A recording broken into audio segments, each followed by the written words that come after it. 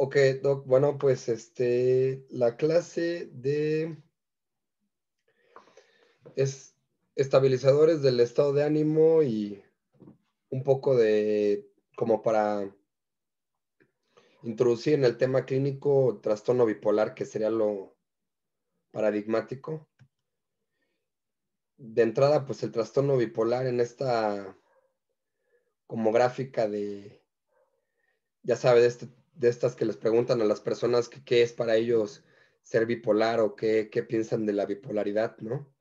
Y entonces, bueno, pues todas estas cuestiones que aparecen ahí, ¿no? Desde depresión muy grande, ¿no? Eh, a mayor tamaño, más respuestas similares, ¿no? Y bueno, pues este, hay de todo, ¿no? Personalidad, emoción, manía, mente, inclusive esquizofrenia por ahí, ¿no? Algunas personas todavía pueden creer que este, bipolaridad es igual a esquizofrenia o que es algo de la personalidad o lo que se ha popularizado, que bipolaridad es como algo que todo mundo podría tener, ¿no? Entonces, como una moda. Como una moda, efectivamente. Y entonces, bueno, inclusive por acá de este lado antisocial, emociones, este, bueno, esta, esta, gráfica es, es, padre por, bueno, para ver lo que entienden. Bueno, claramente los, los anglosajones sería interesante ver qué se entiende en México, aunque sí, eh, desde la perspectiva de, de muchas personas que, que, llegan a la consulta, sí se confunde esto de entre bipolaridad y, y, borderline, ¿no? Se confunde mucho como que, como bien lo dice, pareciera que hay una moda, ¿no? Cualquiera podría caer en esto, pero bueno, la idea es que es, esto es más grave, ¿no? Bueno, pues en esta, en esta diapositiva que es la historia de, de, de lo que sería la bipolaridad, realmente bueno, o sea, desde lo que es la melancolía, ¿no? Tipos este, helénicos, hipocráticos, en toda esta época de Sócrates y todos aquellos eh, filósofos antes de Cristo. Y bueno, cuando griega, eh, los griegos eran como que la máxima expresión, bueno, había estos baños como con sales de litio, ¿no? Entonces, pues bueno, aquí este, las personas que tenían estas variaciones de melancolía, ¿no? Como también como aspectos flemáticos, también llegaban a considerarlo, ¿no? Esta combinación ahí flemática, melancólica, era como lo bipolar, ¿no? Era lo que más o menos planteaban ahí con esta teoría de los humores y todo esto. Bueno, básicamente para ver que, que inclusive por ahí están los testimonios, ¿no? De personas que se creían como Zeus, ¿no? Que se creían como los dioses, claramente eh, personas en megalomanía. Entonces, bueno, de ahí fue avanzando toda esta cuestión del estudio de la bipolaridad. Eh, aquí, como puede ver, son unos saltos medio cuánticos de siglos, pero bueno, realmente lo que aquí este, quisiera yo hacer énfasis, por eso ponemos esta, esta llave, sería el, el descubrimiento de, de, bueno, en la aprobación de la FDA del litio de 1949 a 1974, este, Kate, usted lo mencionaba en clases anteriores, eh, bueno, pues, realmente él estaba estudiando el comportamiento de los erizos y cuando pone litio ahí, este, vio que había menos luchas entre erizos alfa y toda esta cuestión que tenían ahí como de comportamiento de estos erizos y bueno, pues se vio que estas sales podrían ayudar, ¿no? Eh, posteriormente, ¿no? Realmente no, no profundizo en esta parte de la historia, pero bueno, lo marco como el punto clave y de ahí, bueno, pues toda la conceptualización hasta el manual, ¿no? Que sería como que los eh, hitos modernos de, de, lo que sería la bipolaridad. Me, me estoy saltando las partes también importantes, que sería la psicosis circular de Krepelin, etcétera, ¿no? Pero, para resaltar el, punto donde entra el litio, ¿no? Donde ya hay un, tratamiento. Antes de eso, bueno, pues este, realmente habría que ver todos los tratamientos que se utilizaban en general para la psicosis. Y bueno, claramente también este, el medicamento por excelencia era el uso de amapola. Entonces, realmente esos serán como que los grandes tratamientos de, las épocas. Aquí, este, en esta tabla es interesante porque, bueno, hay como los fármacos y, bueno, sus aprobaciones por, por la FDA en los años. Pues el litio sería como que primero eh, para la manía, para el mantenimiento y después para la depresión bipolar que sería como que ya lo, digamos que los últimos fármacos este, ya aprobados, conceptualizados para esto, en esta tabla. Ahorita voy a presentar más datos donde ya entraría lo que vamos a ver este, en la clase de hoy, que sería todo el concepto de estabilizador del estado de ánimo, entrarían en todo esto. Sería como que la idea. Y aquí, eh, bueno, adelanto un, punto que, que, probablemente ahorita discutamos, que sería el concepto de estabilizador de ánimo como medicamentos de otras indicaciones, principalmente anticomiciales. Y lo interesante que no todos los anticomiciales pueden estabilizar el ánimo y, qué tan amplio podría ser este concepto. Y finalmente, bueno, las, combinaciones que, eso sí permiten, los, estas, estas nuevas opciones terapéuticas que aumentaron el arsenal y principalmente, bueno, aquí también se puede ver el hueco de la depresión bipolar, ¿no? Que es como, podríamos considerarla como una cuestión mm, con menos opciones terapéuticas. Eh, y bueno,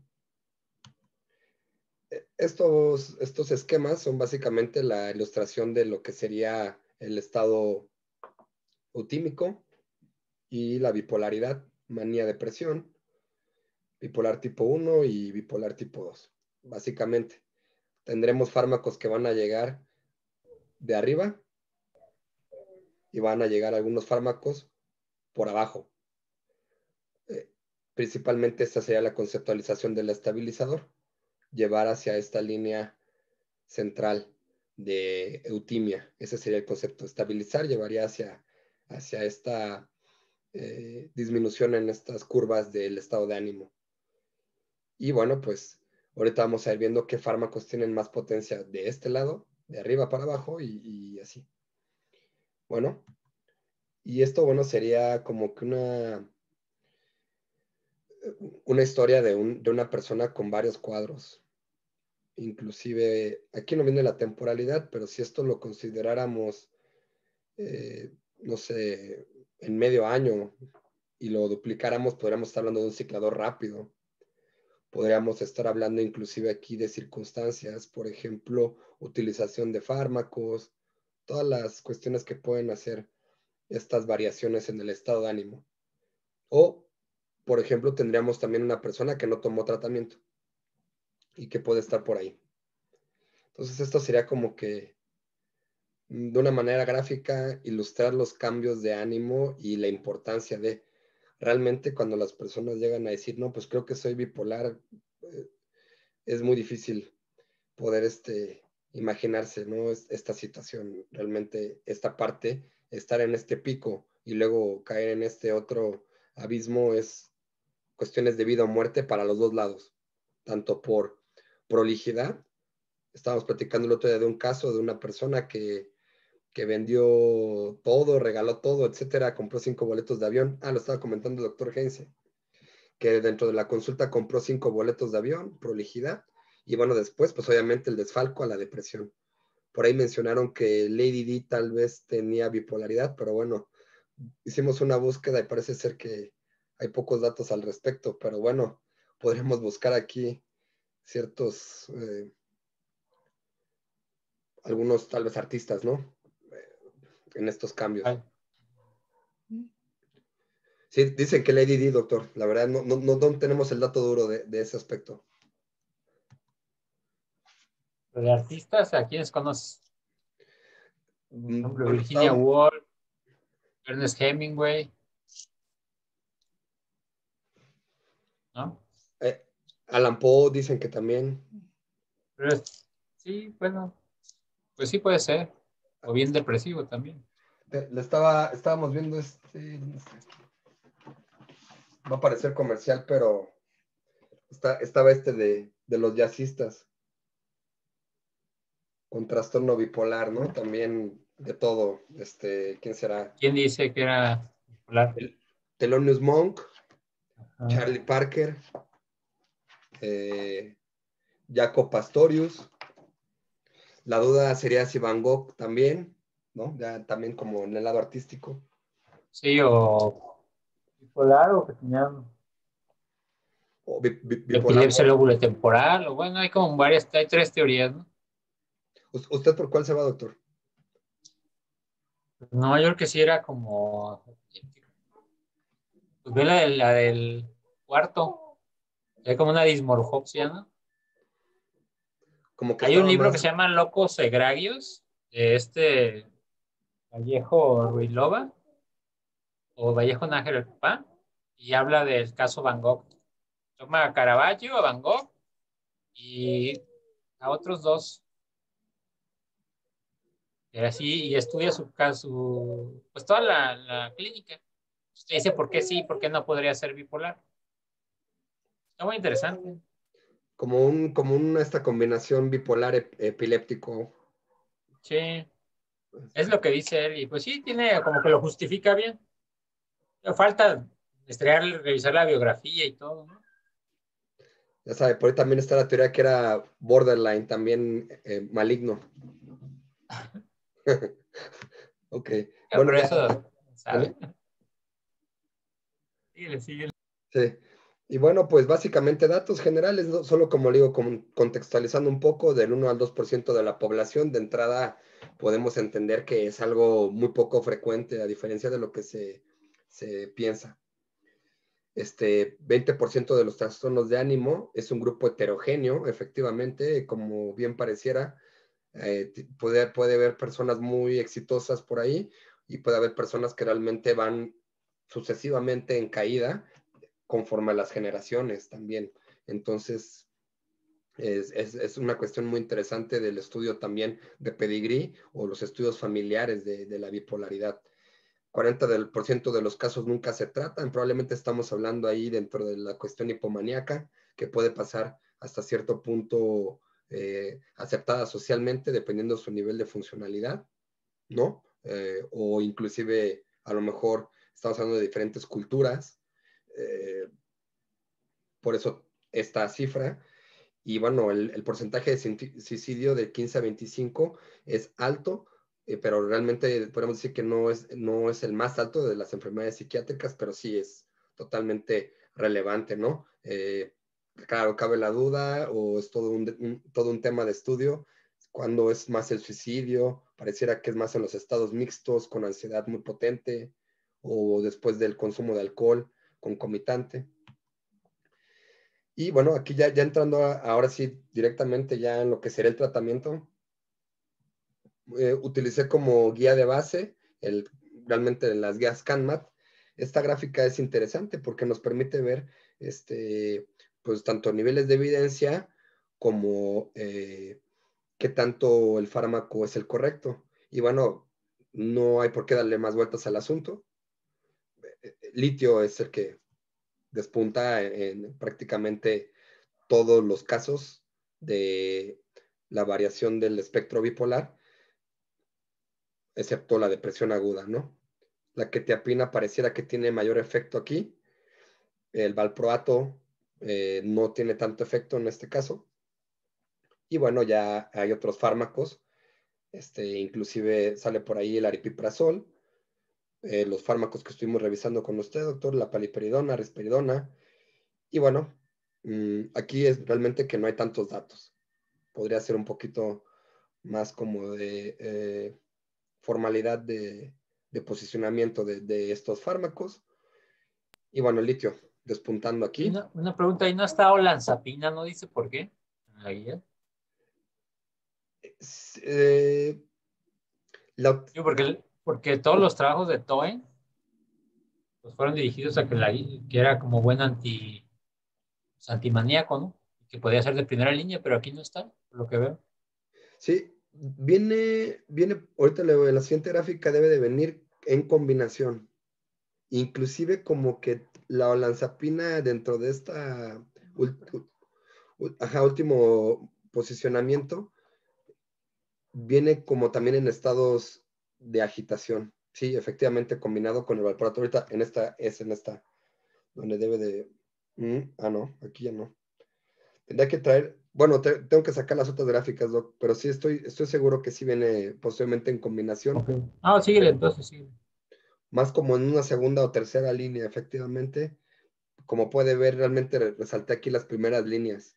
Este, igual, que te apina, que te apina litio valproato. Sería como que el. Posteriormente puedo detallar un poquito más de, de, la guía, porque bueno, es, muy interesante, me parece que está muy bien hecha y, da para bastante eh, orientación, coordenadas. Y, a ver, vamos a ver aquí ya, este, estamos observando con respecto al, a la mm, depresión bipolar. Y bueno, pues aquí el litio se desfalca un poco hay un poquito más de posicionamiento del litio y el valproato en combinación con luracidona, ¿no? Realmente sí, se, conoce que el litio efectivamente por los estudios no es lo más potente, por decirlo así, eh, en la depresión aguda. Esto lo, se va a detallar un poquito más también, que tiene que ver con el, tiempo del, del funcionamiento del fármaco a nivel clínico el litio no tiene tanta, tanta efectividad a, corto plazo. Por ejemplo, ahorita vamos a hablar también de esos detalles. El valproato inclusive se permite esta dosis de carga, ¿no? Se puede hacer una dosis de carga con el valproato para eh, este, obtener una dosis clínica significativa. Y, oh, y, con los antipsicóticos, bueno, de entrada podemos trabajar muy bien. Usted lo mencionaba en la, en la clase de antipsicóticos, todo el margen de dosis que tenemos, eh, por ejemplo, con la quetiapina. Y bueno, este, este, sería como para depresión bipolar. Aquí. Ya tenemos el mantenimiento. Igual otra vez vuelve a posicionarse el litio, este, la quetiapina y el valproato. Realmente, digamos, aquí ya, ya valía la pena empezar a ver Mm, cuáles estudios son los que más están tomando para esta, para, esta situación. Claramente ellos en sus criterios utilizaron los estudios como que con, con dentro de lo que ellos ponen mayor potencia y bueno, claramente eh, que tiene un buen impacto a nivel de estudios clínicos y recientes. Eso es, eso es un hecho. No puede desfalcar al litio, pues porque es el, es el más estudiado. Y el valproato también tiene buena, buen posicionamiento, eh, digamos, eh, hablando de toda esta cuestión como de los estudios y por qué hay estos lugares aquí. Y entonces finalmente estas, estas esferas hablan de qué tan, qué tan buenos son, qué tan potentes, qué tan eficaces, ¿no? Y bueno, también por ahí aparece la lamotrigina.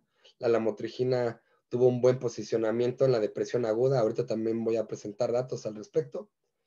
Y eh, bueno, finalmente pues están las otras opciones. ¿eh? inclusive sale el aripiprazol de depósito que, bueno, realmente eh, se escucha como buen fármaco, ¿no? Ya lo, usted lo, nos lo platicaba la, la clase pasada, todas las ventajas también del aripiprazol, pero el depósito parece ser que no, no hay. No, y ya parece que el año que entra llega a México. Oh. Va a comercializar Lumbe. Ah, la verdad tiene muy buena evidencia. Otra opción, realmente, realmente otra opción y, y habría que ver eh, ahí, por ejemplo, el costo, costo-beneficio, ¿no? Eh, eh, esperemos que entre con un buen costo y, inclusive hasta el cuadro básico, si es posible. Y aquí ya esta, esta tabla la, pongo por... Mm, me, como le mencionaba, el, el Kanban es muy interesante porque tiene un poquito más de apertura a otro tipo de estudios que también pueden tener intervenciones eh, significativas. Es decir, que el fármaco puede estar influenciado por situaciones no solamente de posología o farmacodinámicas, etcétera, etcétera, sino que también puede tener cuestiones sociodemográficas, psicológicas, comorbilidades, ¿no? Entonces, principalmente esta tabla creo que es importante por eso, la no adherencia. Y bueno, eh, los estabilizadores del ánimo son fármacos que podríamos decir ayudan a la adherencia por algunos efectos que tienen realmente, ¿no? Eh, efectos positivos y que inclusive si los comparamos eh, a nivel de efectos secundarios con algunos fármacos clásicos, eh, tienen ventajas, ¿no? De, menos efectos secundarios que podrían permitir mayor adherencia. Entonces, bueno, pues esta tabla por eso lo, pongo. Inclusive podríamos hablar también de una, mm, posología mm, más sencilla, eh, también hay cierto riesgo disminuido en la sobreingesta, eh, inclusive son fármacos hasta cierto punto con menos estigma, ¿no? Ya el hecho de no tener el nombre de antipsicótico ya baja mucho la ansiedad de la persona que utiliza el doctor Google, ¿no? Y pone el fármaco ahí y le aparece antipsicótico, dice, en cambio aparece ahí, este, no, pues este fármaco puede servir para controlar la epilepsia, la migraña, etcétera, dicen, ah, bueno, esto es algo neurobiológico, esto también claramente está relacionado más en, creo, creo yo, eh, ahí sí no tendría el dato preciso, pero en la población, que se deja llevar un poco por lo que aparece en las primeras O de, de Google. Y bueno, ahora sí, entonces ya en el concepto formal, este, lo que sería el estabilizador del, estado de ánimo, se considera un término moderno, eh, realmente. Es conforme a las propiedades de fármacos para controlar el trastorno bipolar. Dentro de lo que es la bibliografía revisada, eh, principalmente, como bien lo sabe el Chatsberg, aunque en esta ocasión traigo algunos artículos para presentar los mecanismos de acción, eh, el concepto es a partir de cómo funcionaban con la bipolaridad, ¿no? Estabiliza el ánimo conforme a esta gráfica de la eutimia, la hipertimia. Y bueno, pues este, principalmente se encuentran en esta categoría litio, los anticomiciales y los antipsicóticos. Aunque si, si, este, si usáramos el concepto más amplio de estabilizador del estado de ánimo, podríamos ingresar inclusive otros fármacos u, otras opciones. Mm, caería, por ejemplo, ahí, este, dentro de lo que hablamos de los antidepresivos, cuando uno potencializa con hormonas, eh, eh, ya sea T3 o, testosterona, podríamos decir que estamos utilizando cierto estabilizador del ánimo. O podríamos eh, ampliar un poco el concepto teóricamente, solamente como mencionando esta parte.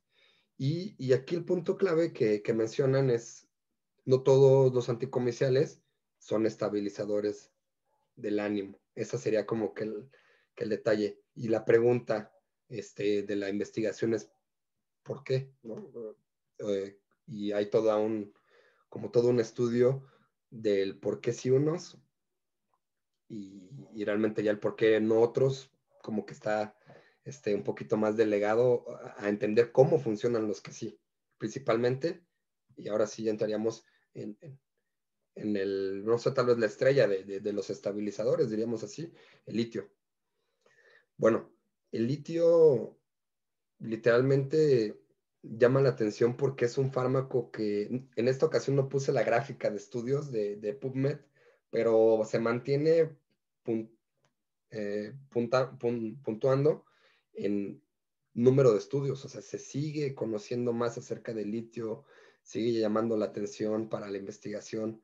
Es un fármaco, podemos decir, que trabaja de una forma hasta cierto punto desconocida, pero de una manera muy eficaz. Y entonces, inclusive en el artículo de revisión que puede, eh, bueno, que podemos ver aquí abajo, dice Arnoldi Botguri, ¿no? Pues es viejo, pero es bueno. Entonces, este, inclusive la parte neurotrópica y neuroprotectora, ¿no? Esa sería como que es lo que está eh, llamando mucho la atención actualmente. Entonces, eh, esta, en, esta pirámide invertida podemos ver eh, los efectos del litio, desde lo macro a lo micro.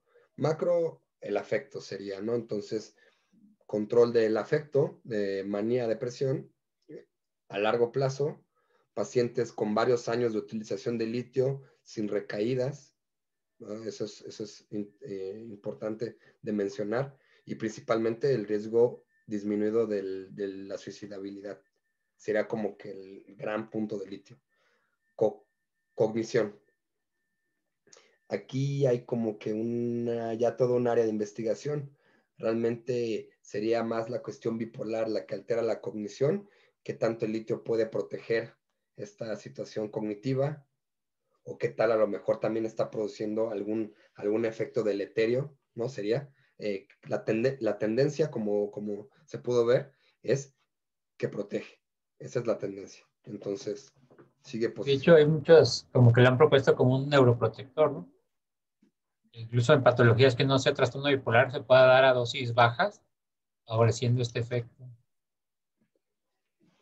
Sí, sí, doctor.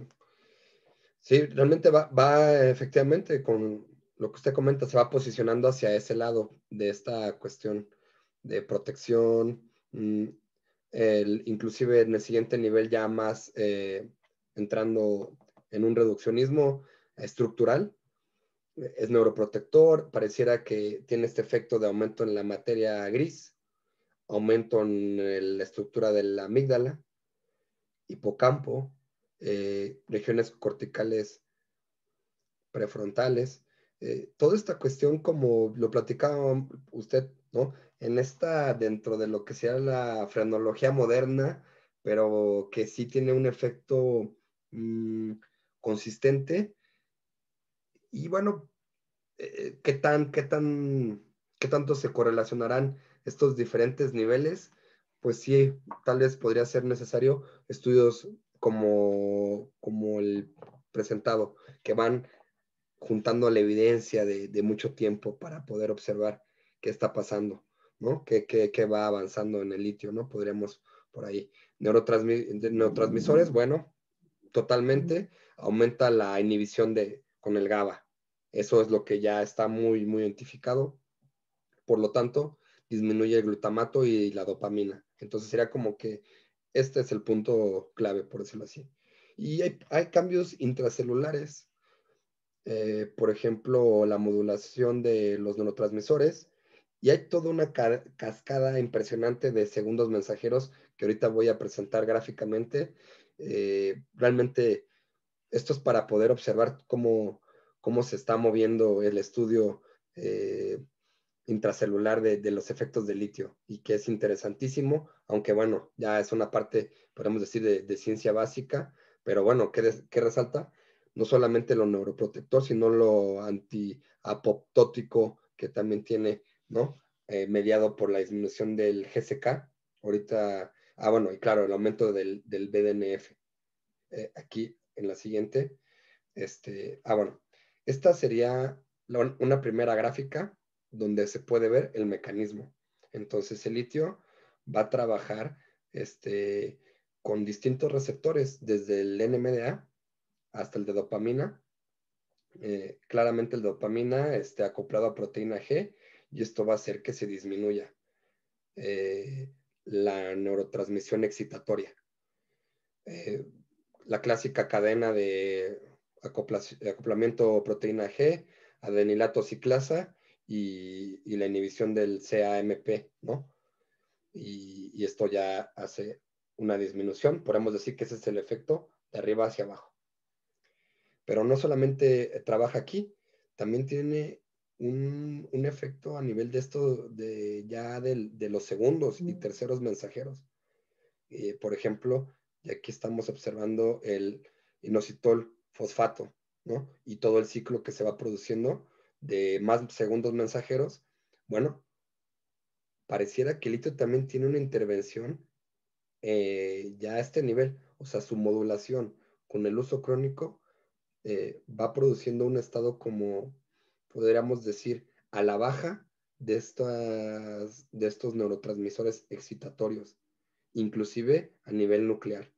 Entonces, esto ya es, es bueno, es interesantísimo, pero justamente si uno revisa artículos, mm, estamos hablando que 90s, 80s, un poquito más para atrás, se dice litio se desconoce el mecanismo. Esto es muy, muy actual.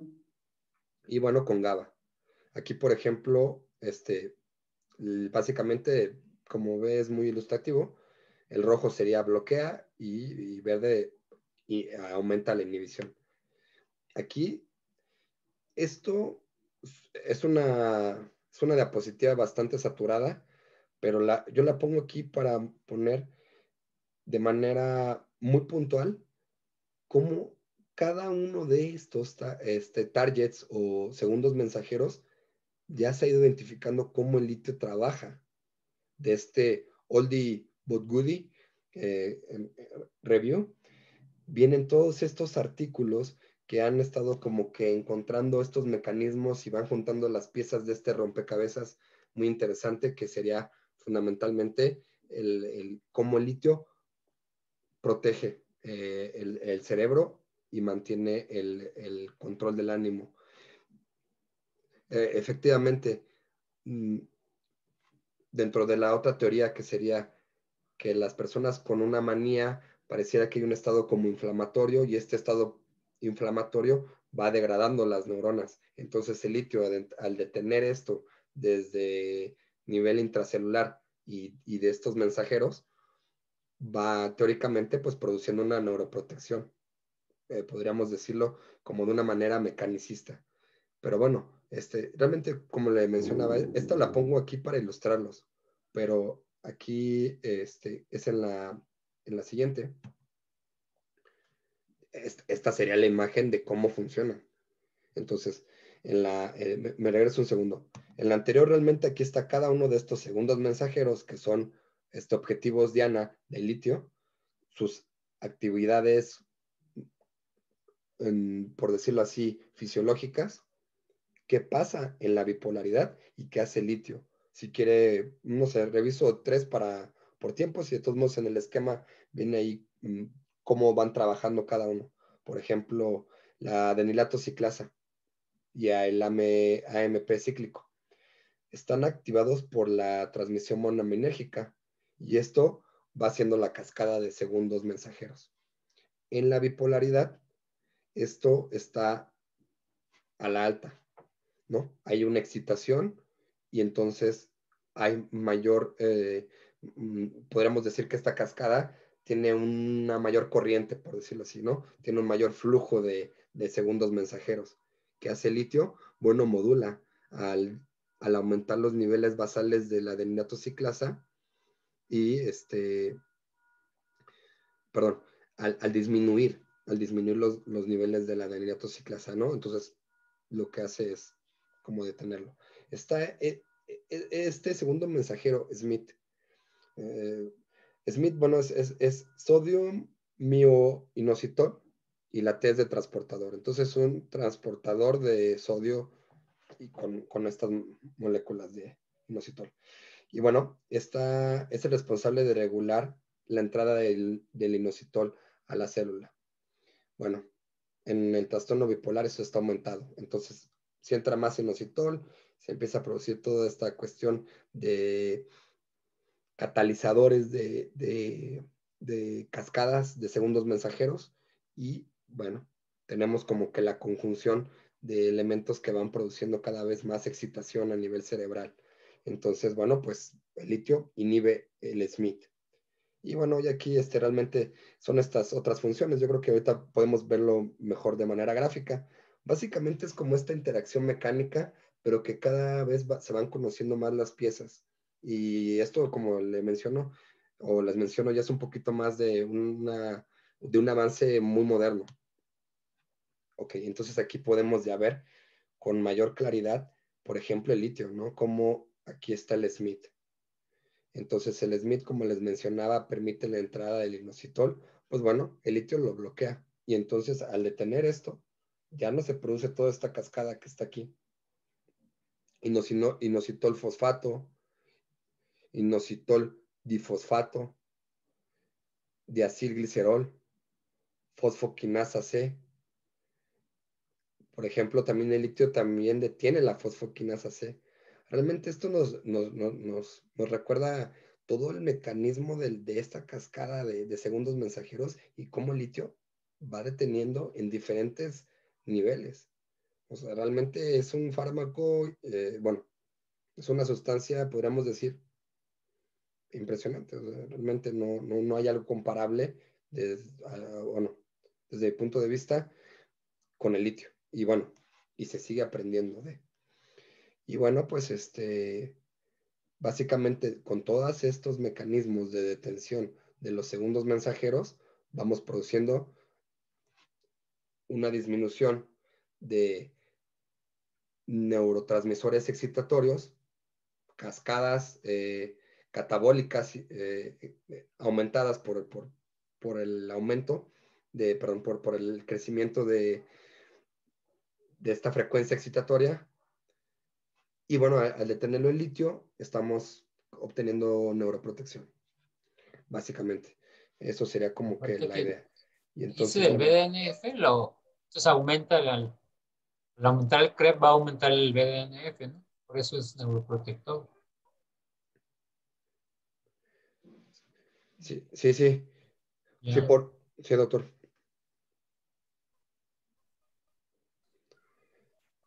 Otro, otro efecto aquí, ¿no? Eh, totalmente el que usted, que usted resalta, doctor. Mm, por otro lado, si, si, si detiene esta, como esta degradación de enzimática de, estos acoplamientos G, aumenta la CAMP o AMP cíclico, produce CREP.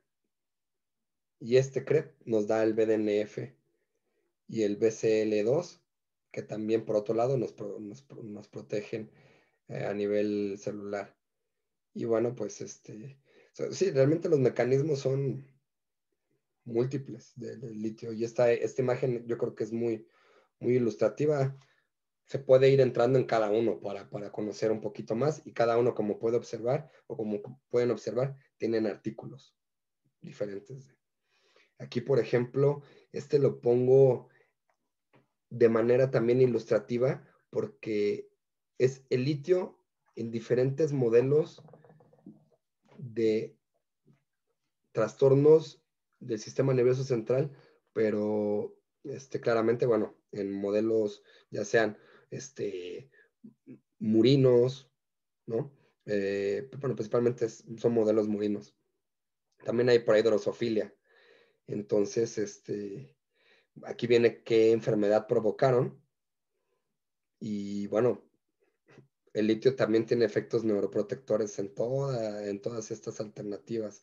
Este, por ejemplo, inclusive modelos de, hemorragia ¿no? este, cerebral, este, eh, degeneraciones retinales, eh, modelos, bien lo sabe, eh, ha sido muy famoso los, todos los modelos de estudio de la esclerosis múltiple y pareciera que el litio también ahí tiene ciertos efectos neuroprotectores. Entonces, bueno, pues podemos entender claramente el posicionamiento del litio eh, en todas las áreas este, de ciencia básica. Mm, aquí, en este termómetro eh, gráfico de lo que serían los niveles de litio en sangre para poder obtener este, un buen control.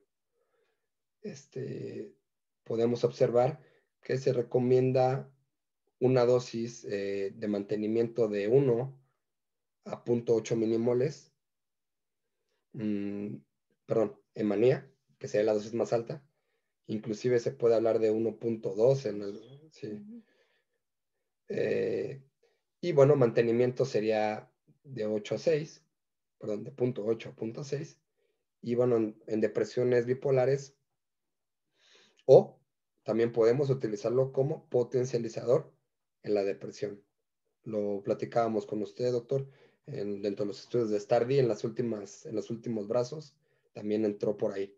Entonces, bueno, eh, claramente hay recomendaciones fundamentales antes de la utilización del litio. Eh, básicamente perfil renal, perfil tiroideo, calcio y este, cualquier alteración metabólica sería de entrada. Que bueno, que esto podemos irlo ya derivando desde lo que nos platicaba usted en su clase de antipsicóticos. Tenemos que tener estos estudios basales para poder estar controlando aquí el, funcionamiento del fármaco, además de, de las litemias en este caso.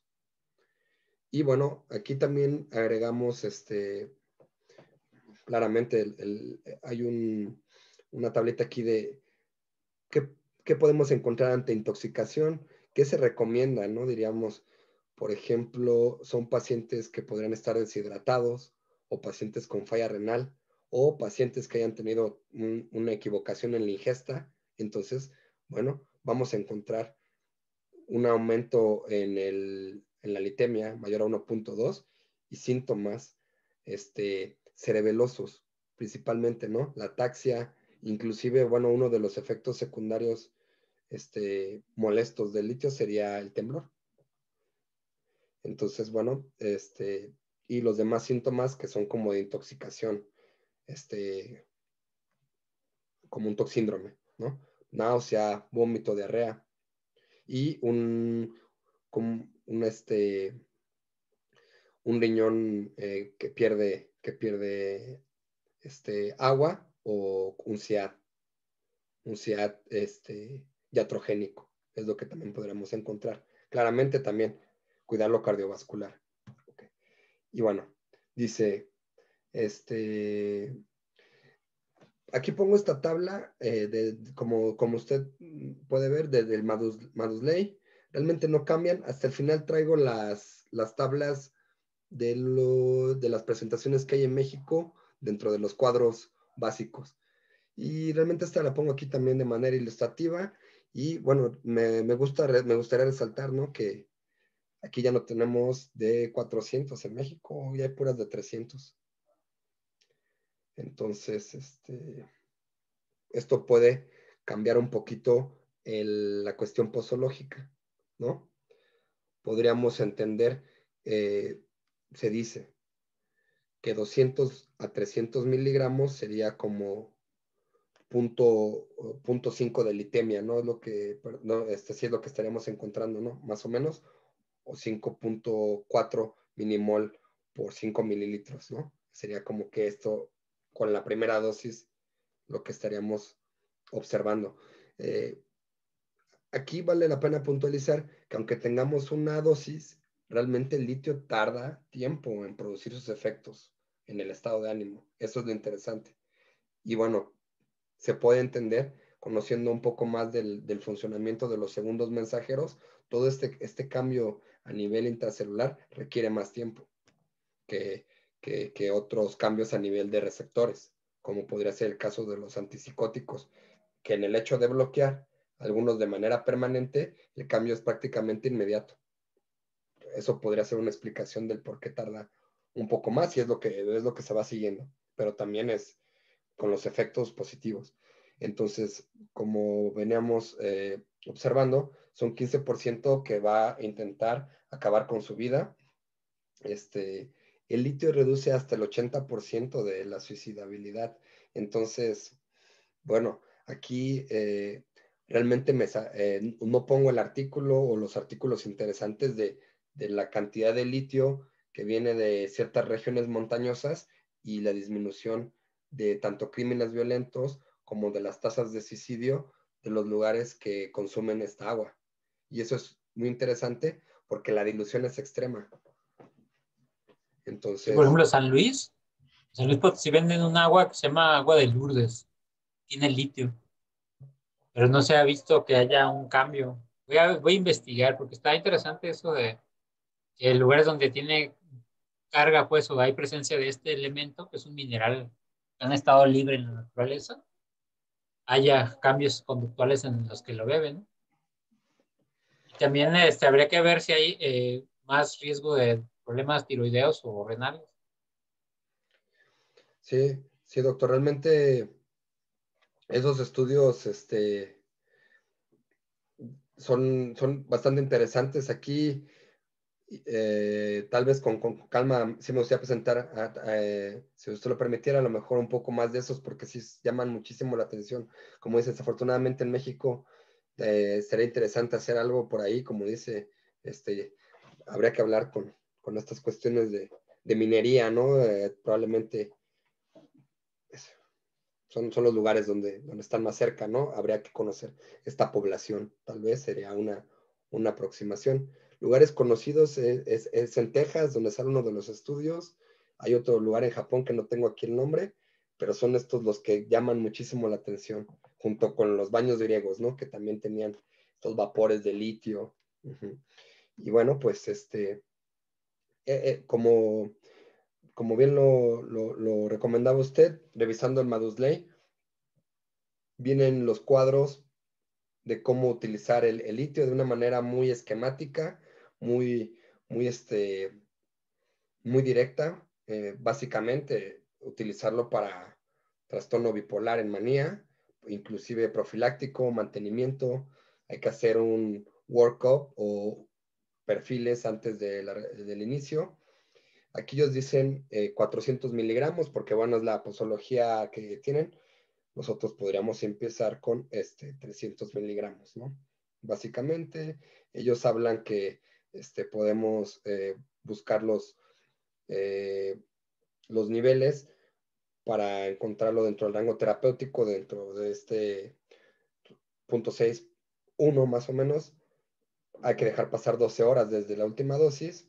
Mm, ellos aquí recomiendan 6 meses más o menos para las litemias o dependiendo qué tanto queremos ver la respuesta. Entonces podemos hacerlo más frecuentemente. Y aquí ellos mencionan una reducción lenta de un mes. Revisando el STAL, eh, el STAL recomienda hasta tres meses. Ahorita tengo un cuadrito de por ahí. Y los efectos adversos, ya habíamos mencionado, principalmente el tremor, eh, y hay otros por ahí. Inclusive este, puede haber cierta acné y la ganancia de peso. Esa es ahí clave. Eh, hay interacciones, también sería algo que hay que destacar. Bueno, los inhibidores de la, de la enzima convertidora de angiotensina. Este, realmente aquí podríamos decir que tener bastante cuidado, ¿no? Porque puede haber un efecto potencializador en el litio, hasta inclusive de 4 hasta siete veces en ancianos. Eh, podríamos hablar de comorbilidades, ¿no? Un, anciano hipertenso eh, con nefropatía, pues mm, no, no, es buena idea. Los diuréticos teacídicos igual. Eh, y los AINES. ¿De qué estaríamos hablando con esta tabla? Creo que esta tabla se puede sintetizar en fármacos que pasan a nivel renal para su depuración.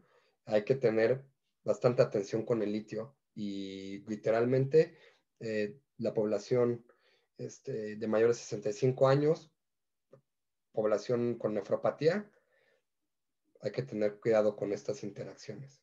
Ese sería como que el resumen de, esta tabla. recomendaciones generales, eh, sería 300 miligramos cada 8 horas, sería una posología más recomendada en la población actual. Eh, perdón, este, mexicana, que es la dosis que tenemos. Eh, inclusive ahí en el cuadro básico sí hay. Eh, la vida media es de 18 a 30 horas. Suspensión gradual mencionaba de tres meses. El aumento de peso se considera moderado. Sedación moderada. no utilizarlo en falla renal ni en cardiopatía. Y es categoría C para embarazo. Eso sería básicamente como un resumen del litio se conecta con el valproato de manera interesante. Este, ya ahorita ya estaría pasando al valproato. No sé si, si quiere que puntualice algo acerca del litio, algo más, doctor. Sí, tienes que vigilar el aclaramiento renal. Una recomendación porque casi siempre lo dejamos al último. Pero sí, la verdad es una molécula muy interesante el litio. Muy efectiva. ¿Y ya en el seguro tienen? Sí, sí, sí. estaba escasa. Ya empezó a ver en la raza. ¿Eh? muy poco. Este, pero ya, ya, está regresando, sí. bueno, ya entramos en el tema de todo lo que hubo a principio antes de la, ahora sí que antes de la pandemia, de todo el tema industria farmacológica, sin, sin decir situaciones. Y sí, el litio estaba por ahí ya en la línea de, de desabasto, junto con Vivans también por ahí andaba desapareciendo. y hay fármacos ahí medio interesantes. Que... Sí, a veces pienso que es porque, digo, la verdad es que no lo sé, Pero digo, como se está usando mucho litio en las baterías, eso haga la demanda, aunque es donde está la molécula, pero el componente final es el litio.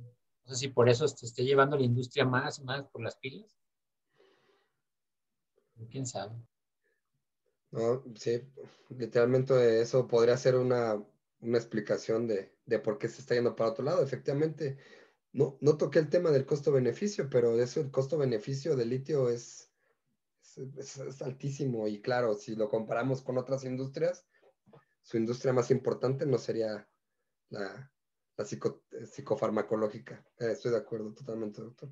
Y bueno, aquí, por ejemplo, esta tabla eh, hacen ya la, conjunción de litio y valproato.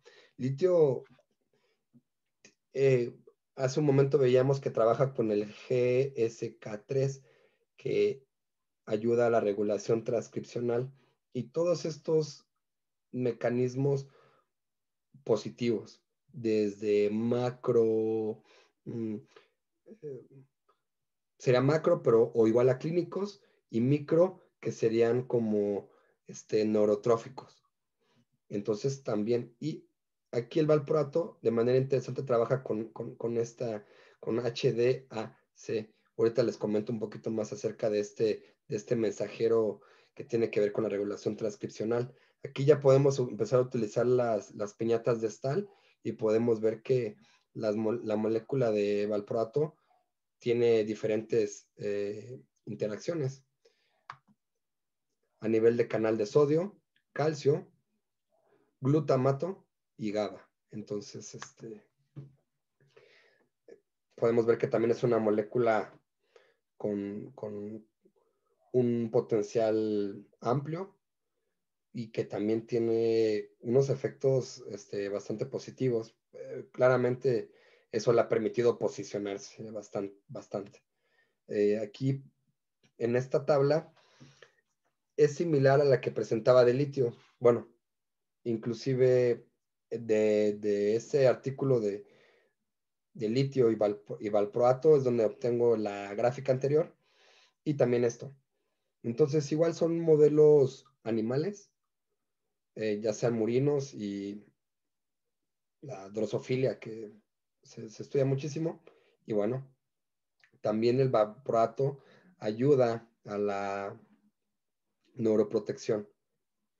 Claramente, si comparamos esta tabla con la de litio, bueno, el litio está en, un nivel mucho mayor, pero bueno, aquí también hay este, bastante, bastantes efectos positivos, inclusive a nivel como de estos modelos, desde el punto de vista así cruentos, ¿no? Donde hacen el daño a la columna vertebral y, este, y ahí el valproato ayuda, pero bueno, que, sería algo como un accidente automovilístico, un accidente, podríamos hablar de motos o algo así, ¿no? Y inclusive, por último, aquí abajo, el, conforme a la neurotoxicidad por VIH, también tenemos cierto efecto. Entonces, interesante eh, el valproato.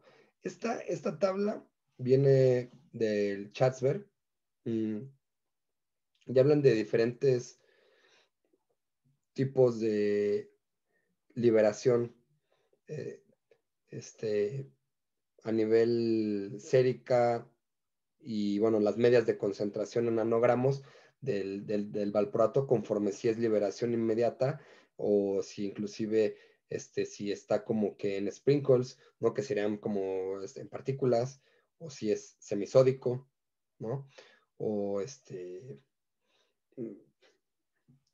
estas serían como que las opciones entonces podemos ver que hay un pico eh, bastante alto de concentración si utilizáramos el puro ácido valproico. Pero bueno, ya con el, con el sodio este, de liberación prolongada, podemos obtener, eh, sería esta gráfica que está por aquí, que tiene como unos rombos que nos permite un, nivel adecuado eh, hasta pues más de 40 horas, ¿no? Ahorita voy a presentar un poquito más con detalle esto y principalmente nos habla de, pues, cierto nivel de libertad que nos da la posología con el valproato.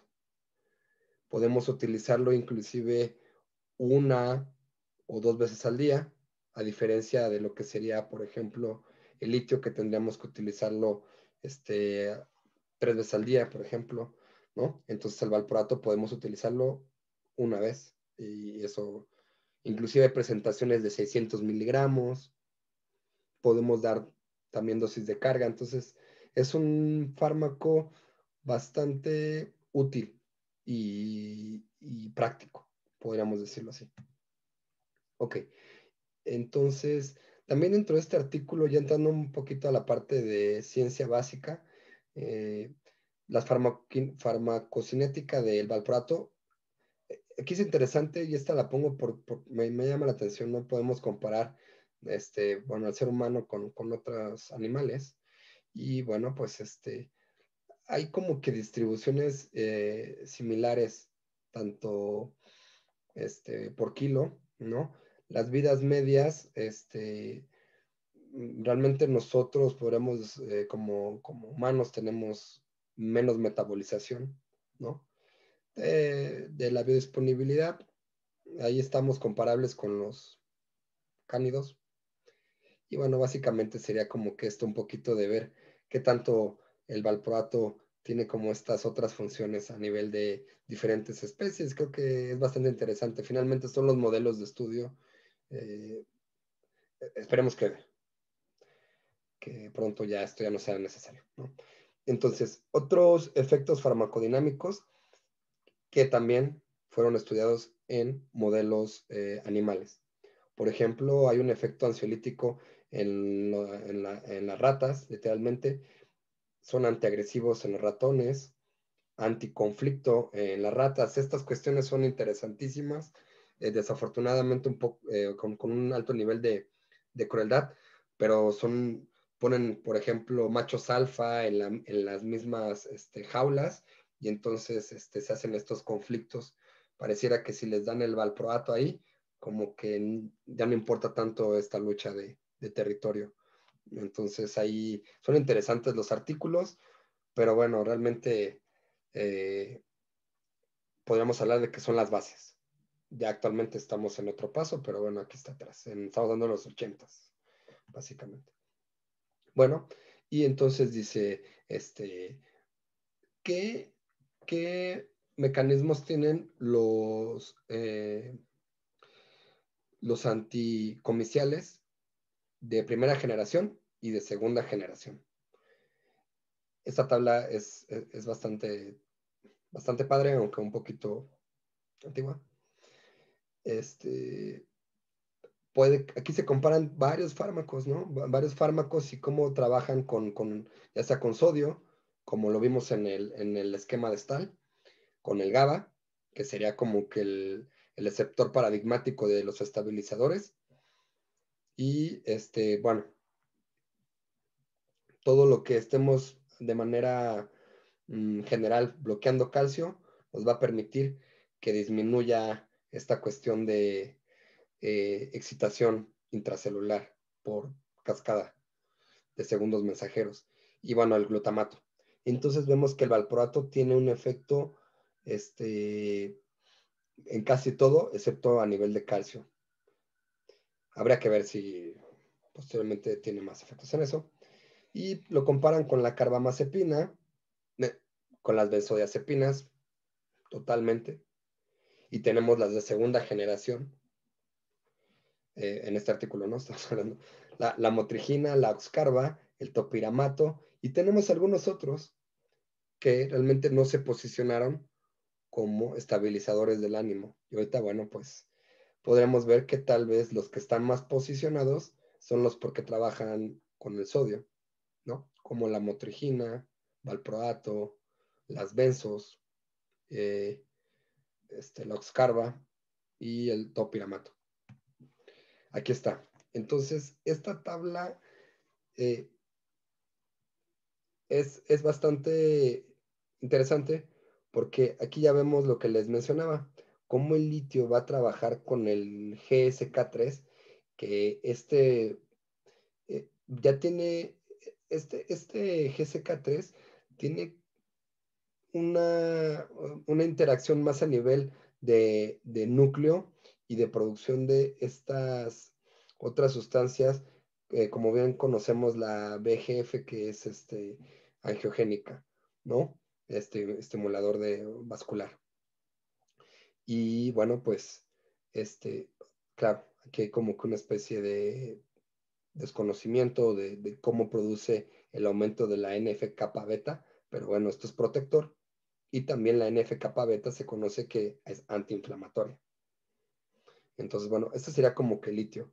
Y este es el otro que usted nos resaltó en la tabla anterior. A través del receptor de NMDA vamos a, llegar a, ciertas cascadas que van a ser eh, antiapoptóticas o neuroprotectoras. Y bueno, por este lado. Perdón, ahí dice que te inhibe el NMDA. ¿El, el, litio? Ajá. Dice, ah, la isquemia induce NMDA, el receptor sobreestimula, tiene un aumento del flujo del calcio, la isquemia, ¿no? Cerebral, y es inhibida por litio. Es de la subunidad NR2, sí. Entonces también bloquea ese. Ya hasta podría funcionar para la cruda, ¿no? sería, sí, por eso les dan Noxcarba, ¿no? Sería interesante, doctor, sería interesante ahí para... Totalmente, bueno, o sea, literalmente, o sea, el, imaginarse el sauna griego con de litio seguramente será pues, otro nivel. Entonces, efectivamente, estas crudas griegas, este, grandes, eh, grandes fiestas, ahí es donde se acudían probablemente. ¿no? Bueno, este, y, bueno, aquí tomando esta parte del valproato, el, bueno, tenemos esto de HDAC, ok. Entonces, este sería un, tiene que ver con igual la misma cascada, pero que va hacia el, hacia el lado de, mm, tiene otras, otros elementos, realmente segundos mensajeros, ACSP1 y va a tener, tener también efecto en HSP70. Estamos hablando realmente ya de segundos mensajeros que son como mm, tan en estudio que realmente ya en la cuestión de fisiología que o fármaco mm, estudio todavía no han entrado, digamos, como que en estas clasificaciones, podemos decir, pero bueno, por aquí va, por aquí va el, estudio de, cómo es que producen la neuroprotección. Entonces, aunque, bueno, esta sustancia realmente, bueno, este, este, segundo mensajero no es como tan, tan conocido como ahorita hablábamos de el IP3, el IP, todas estas del inositol, bueno, aquí parece ser que tiene un efecto protector.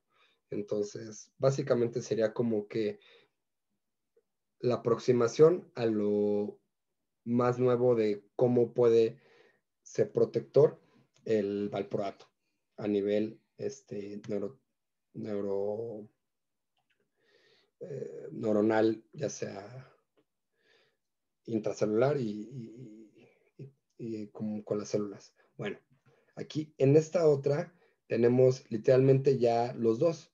El litio y el valproato pareciera que comparten estos mecanismos de neuroprotección.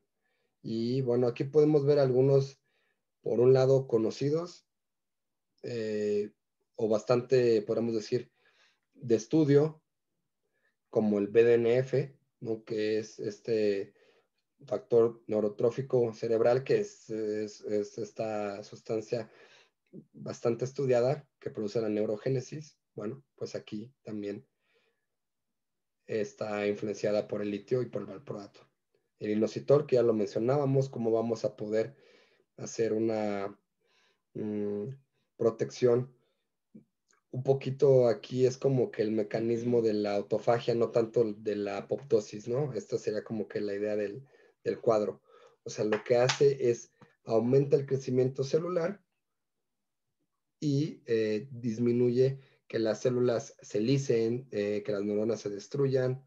¿Con qué lo podríamos comparar de una manera interesante? Bueno, pues con las, eh, por ejemplo, creo que lo mencionábamos, inclusive usted lo mencionaba en una clase anterior, por ejemplo, el éxtasis o alguna otra sustancia que literalmente van a producir apoptosis, inclusive, no, o no, no solamente el éxtasis, otras sustancias, bueno, principalmente de consumo de adictivo, van a llevar hacia la apoptosis. Entonces, claramente, el litio y el valproato van a detener esto. Entonces, bueno, sería básicamente eh, el porqué de esta tabla y bueno, el gran texto aquí es cómo funciona. Mecanicistamente lo, lo dejo porque cada, esto, cada uno de estas interacciones tiene un detalle. Bueno, entonces aquí ya nada más pongo esta tabla de dónde queda el valproato.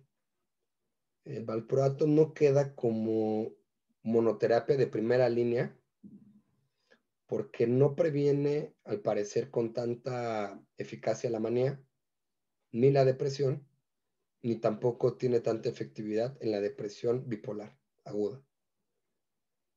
Sin embargo, este ya como que en seguimiento del paciente bipolar, sí tiene un buen efecto y en la manía también. Entonces, aquí estamos con el valproato. La que te apina, usted ya nos, este, nos, estuvo presentando, presentando sus funcionamientos. Y bueno, pues este, aquí otra vez el cuadro de Madusley, cómo podemos indicarla. Este, básicamente todo el espectro bipolar. Aquí ellos dicen que no hay ningún, este, que no hay ningún problema. Eh, aquí dan una nota. El valproato sódico está para epilepsia, epilepsia principalmente, y el semisódico para manía aguda. Estamos hablando ya de FDA, especificaciones muy, muy importantes. Y bueno, este, hay un workup pre-uso de valproato. Ellos aquí destacan pues las pruebas de eh, perfil hepático. Y bueno, claro, hay que checarlo del peso. Y ellos dicen que hay que hacer una dosis gradual. Podemos utilizarlo inclusive una vez al día. Y este, bueno, eh, ellos, esta es la, la, crono, pero aquí sería semisódico de liberación prolongada. La monitorización, bueno, pues hay que hacer este, eh, aquí dan la indicación clínica, realmente no hay una periodicidad, inclusive también por ahí este, podríamos tener algunos niveles de valproato, también puede, se puede llegar a conseguir, pero bueno, realmente este, dentro de lo que es esta guía, no, no es como tanta la recomendación, sino más guiarnos por lo clínico. Y la dosis pues está hasta cierto nivel estandarizada y bueno, este, la disminución es gradual, igual, aunque aquí también mencionan un mes. De manera general, podemos utilizar una dosis de 10 a 15 miligramos por kilo puede utilizarse cada 12 horas o inclusive si es liberación prolongada, podemos dar una dosis este, nocturna. La vida media es de 9 a 16 horas. La suspensión es gradual. Este, el aumento de peso sí es moderado. También tiene esta cuestión que puede producir cierta alopecia que es bastante significativo. Tiene Ahí te da la mitad de la dosis, ¿no? Porque para para epilepsia va de 20 a 40 miligramos por kilo. Ya siempre vamos a ir a la mitad de la dosis con el valor. Sí, doctor, gracias. Sí, efectivamente, eh, se utiliza una dosis, eh, como bien lo, puntualiza usted, eh, más, más reducida. No se recomienda datos de falla hepática o ya literalmente en un paciente con pancreatitis, pues, pues hay que retirarlo o no, no pensar en usarlo. Y es categoría D en embarazo, entonces también hay que tener esa precaución en este, personas que eh, con vida sexual activa, en edad fértil, etc. Bueno, eso sería con respecto al valproato, doctor. No sé si quiere eh, comentar algún otro detalle antes de pasar a la carva. No, está bien el medicamento. fíjate que a veces les piden niveles en sangre, pero no hay una relación muy clara, ¿no? siempre cuando se piden los niveles es porque estás pensando en que sea utilizado como antiepiléptico. Ok, Y bueno, la, la carbamazepina aquí otra vez podemos observar la, la, eh, la iconografía de la molécula tiene una interacción con eh, calcio. Inclusive aquí el potasio también está ilustrado. son canales de sodio en la unidad alfa y, bueno, también tiene una interacción, eh, lo, lo, estábamos mencionando, con lo que sería GABA. Mm, aquí pongo otros detalles como de la cuestión, este, desde su comportamiento farmaco, farmacocinético, ya sea la brevedad oral, este, la vida media, es, lo pongo también después. Esta tableta la, la, puse aquí porque me pareció que resumía bastante bien lo que era en general este, el fármaco. Entonces, eh, realmente podríamos hablar que, que tiene un, un, comportamiento similar a, a, lo que sería un antiepiléptico de las, de las demás este, familias, ¿no? Realmente esta sería como que la idea, ¿no? Este, mm, no tiene como que una particularidad en, en, este, en, este, en este aspecto. Por eso también llama la atención que haya tenido tanto efecto a nivel psiquiátrico. Bueno, eh, básicamente la carbamazepina, aquí tenemos este canal de sodio, pues bueno, bloquea. Al igual que el valproato y la lamotrigina. Y bueno, la fenitoína. La fenitoína también hace esto, pero no se utiliza como estabilizador. Entonces, ese es como que los puntos que llaman la atención como de, estudio a nivel de ciencia básica. Eh, aquí esta tablita muy interesante de cómo la carbamazepina va teniendo varias interacciones con, enzimas eh, a nivel de, de, su degradación este, metabólica y cómo se va volviendo inactivo y bueno, pues esto también ahorita nos va a hablar del por qué hay interacciones muy relevantes que hay que considerar con la carbamazepina. Esta es principalmente para ilustrar toda la, cuestión de, su degradación. Entonces es un fármaco que tiene esta particularidad. Va a tener que pasar por varios niveles de, reducción y oxidación para poder llegar a su parte inactiva. Que todo esto, bueno, es a nivel de, de hígado. Bueno, entonces, eh, ahorita vamos observando un, elemento que es muy importante en la actualidad conforme a la hipótesis del trastorno bipolar, esta cuestión del inositol. Si logramos hacer una disminución del inositol, ya sea por depresión o porque no entre a la célula, podemos hacer una disminución de, de todas las cascadas que producen esta excitación intercelular, digo, intracelular, que lleva hacia los estados bipolares. Entonces, el valproato, la carbamazepina y litio trabajan con, esta hipótesis de, tener el, inositol y volvemos a observar al transportador Smith. Entonces, bueno, claramente aquí podemos ver como el litio,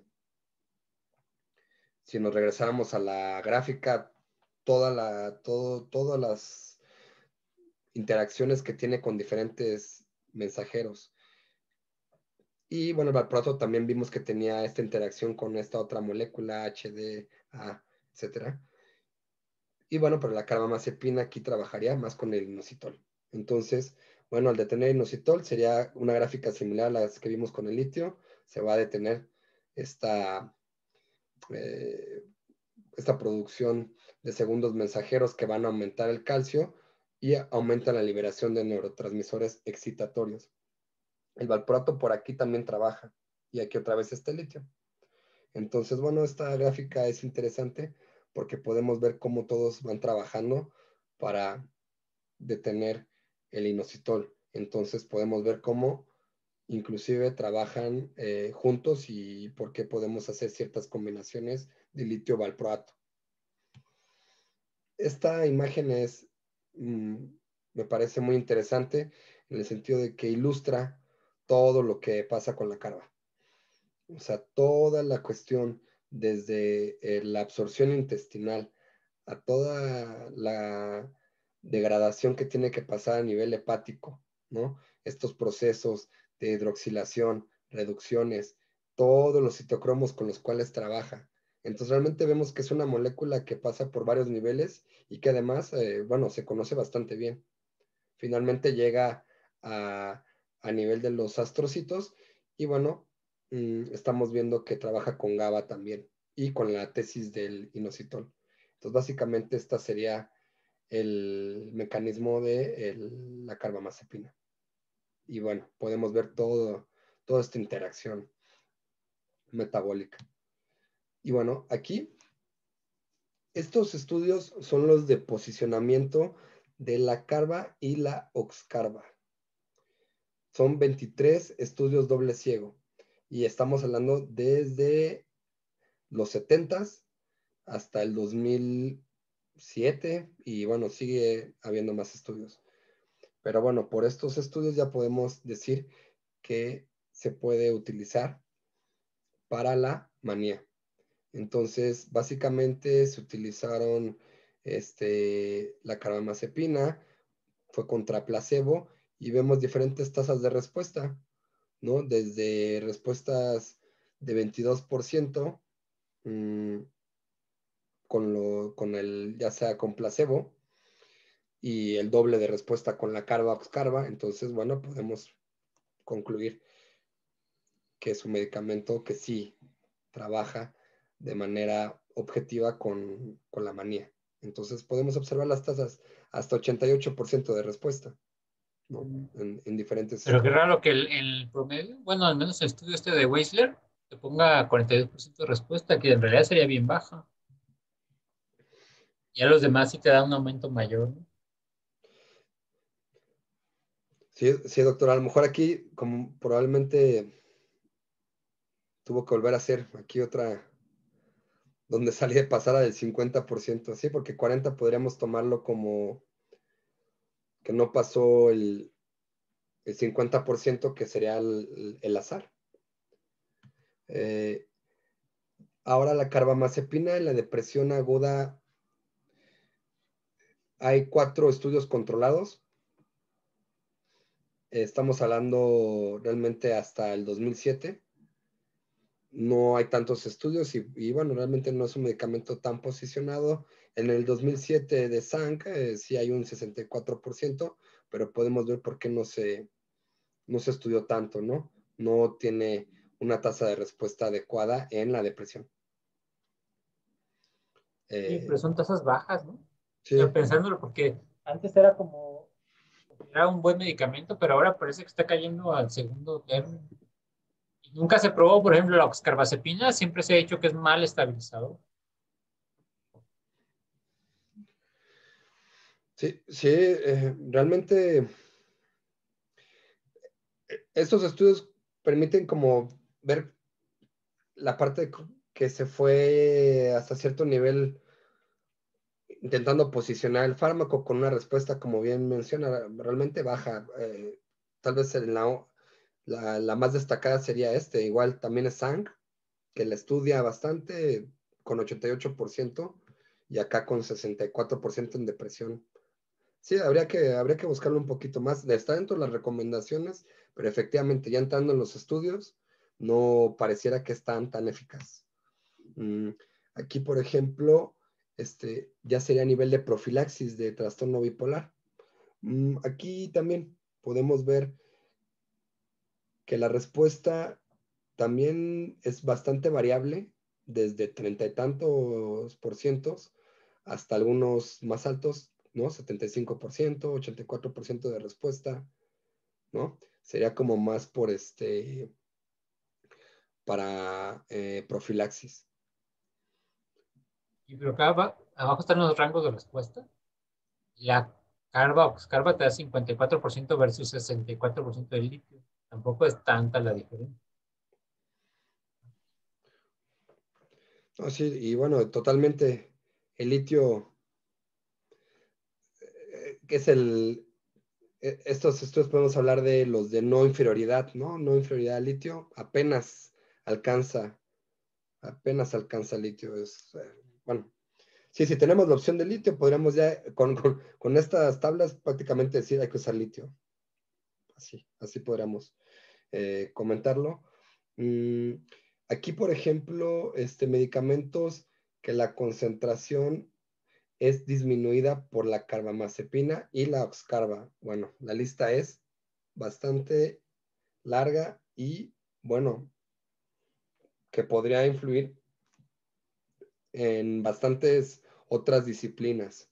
O sea, tenemos desde, eh, tiene interacción con, analgésicos, con anticoagulantes, ¿no? Este, inclusive eh, con antifúngicos, antibióticos. Entonces, realmente es, es, un fármaco, como se veía en la gráfica, por todas esas interacciones eh, con los citocromos, es un fármaco que tiene una influencia muy importante en otros fármacos al nivel de que disminuye la eficacia de los otros. Y bueno, este, ahora también hay unos fármacos que aumentan la concentración de la carbamazepina, como la floxetina, la fluoxamina, este, y bueno, hay otros fármacos por acá abajo que finalmente habría que checar las interacciones. Si tenemos de entrada a una persona ya con otros fármacos y estamos pensando en la carva, habría que, considerar bastante esta situación. Bueno, ya entrando en la tabla que sintetiza cómo utilizarla, pues indicaciones, bien lo mencionan aquí, no es de primera línea para la manía. Para la depresión bipolar, la evidencia es débil. Para la depresión unipolar, la evidencia es débil y profilaxis sería de tercera línea, después de valproato y de los antipsicóticos. Inclusive, bueno, para la parte del, de la abstinencia de alcohol, no tiene tan buena tolerancia. Entonces dice muy bien aquí en, estas notas de Madurus Lake, muy precisas, la carbamazepina podemos utilizarla cuando el litio no va a ser bien tolerado. Entonces, ¿de quién estamos hablando? podría ser de una persona que tiene falla renal, pero pues que el hígado todavía este, está ahí resistiendo bastante bien, bueno, pues vamos a tener que usar a lo mejor o considerar esta opción. Y bueno, el workup, eh, preutilización, igual. Entonces, tendríamos que utilizar unas pruebas eh, del hígado, eh, un perfil hepático, eh, claro, también por aquí recomiendan los niveles de urea, los electrolitos séricos también por esta interacción que tiene, ¿no? Mm, bueno, aquí se va utilizando dosis de 100 a 200 miligramos y llegar a 400 miligramos. De igual manera, es una dosis un poquito más baja que la utilizada para otras cuestiones de, eh, de epilepsia, ¿no? Del tegretol, si es algo que podemos conseguir aquí. Y bueno, pues este, inclusive también podemos buscar niveles séricos para monitorizar. Y bueno, también se debe disminuir gradualmente. El STAL nos menciona que podemos llegar hasta 1200 miligramos. Que claro, eso se tiene que ir ajustando. Eh, podemos utilizar también los niveles plasmáticos.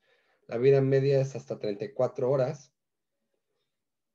E, ellos ellos mencionan, por ejemplo, aquí, por sus interacciones, por ejemplo, cuando nosotros decidimos suspender el, la carbamazepina, probablemente tendríamos que aumentar el otro fármaco, porque la carbamazepina disminuye las dosis de algunos fármacos, ahí está la gran lista, entonces tal vez tendríamos que ajustarlo, y, viceversa, ¿no? Eh, si la agregamos, también tendríamos que bajar la dosis del fármaco.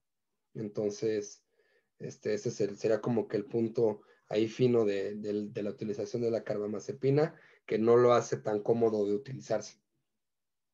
Produce aumento de peso leve, tiene buena sedación, ese es un dato positivo, eh, en dado caso que requerimos ese, punto.